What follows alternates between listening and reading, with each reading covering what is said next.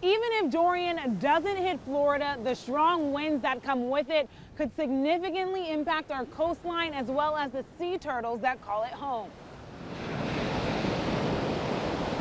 With Hurricane Dorian on the horizon, Jackie Kingston, the founder of Sea Turtle Adventures, is hard at work protecting sea turtles. We're out here securing all of our sea turtle nest signs in advance of the storm in hopes that they'll make it through the next few days. Making sure the ones that are left don't succumb to any human factors now that the wrath of Dorian is near.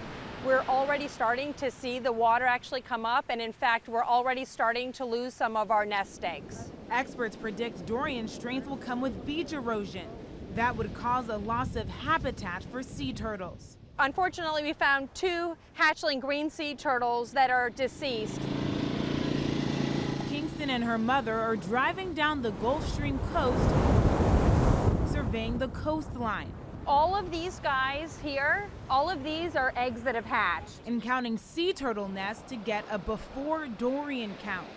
They lay multiple nests throughout the season. They vary the location on the beach, and they do that for events just like this in hopes that at least a few of their nests are going to make it.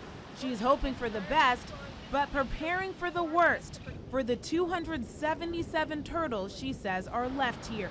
Half of those uh, we will uh, probably lose. But with Dorian on the way, all she can do is hope